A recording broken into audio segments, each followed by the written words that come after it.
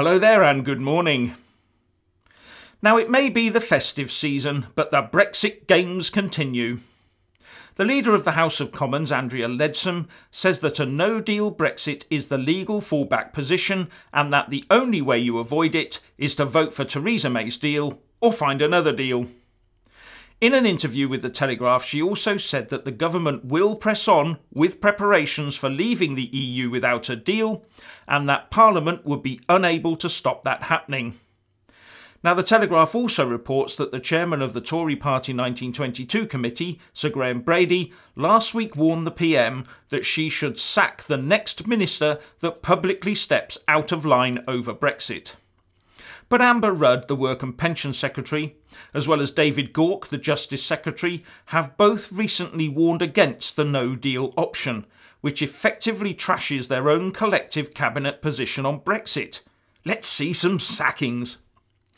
As the former Tory Chancellor Lord Lamont said, it is foolish to rule out what is in effect your only plan B, and that is what the WTO option is.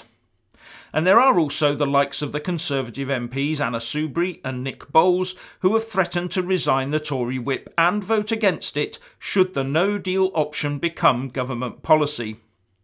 In response, the Lib Dem MP Layla Moran said that Parliament can stop and will stop a no deal Brexit.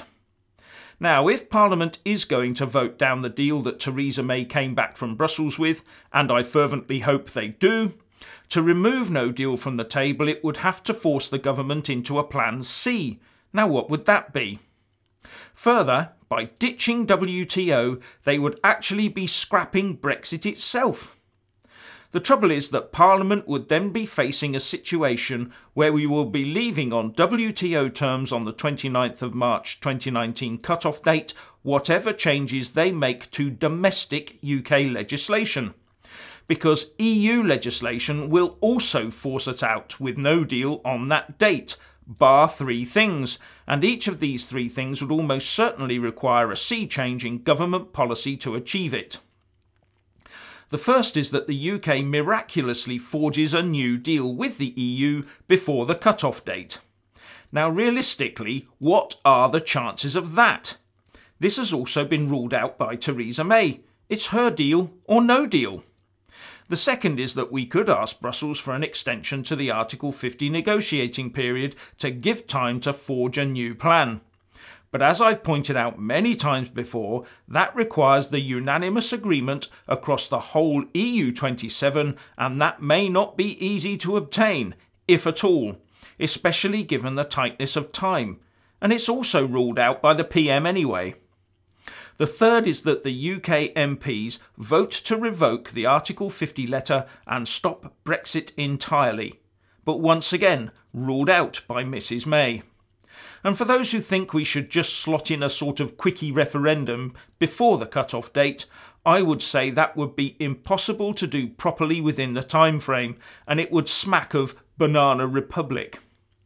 So, Parliament having ditched the only deal on the table as well as the WTO Plan B, would see that there is no time for a new deal or a referendum, so would be desperate to extend Article 50 or, as the very last choice, stop Brexit completely. This is the sort of scenario I see developing in the coming weeks after Christmas. But how do you think it will pan out? Please leave a comment below and thank you for watching.